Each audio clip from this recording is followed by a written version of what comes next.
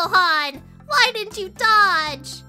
Goten, stop thinking about girls. Goku, why do I have to think of everything? Why can't you be more like Pan? She's awesome! Uh, yeah, Pan. I really think you should stop. I'm not Pan. I'm the great Namekian Piccolo! Uh, yeah, Pan. I really think you should stop. And I... Is standing right behind me, isn't he?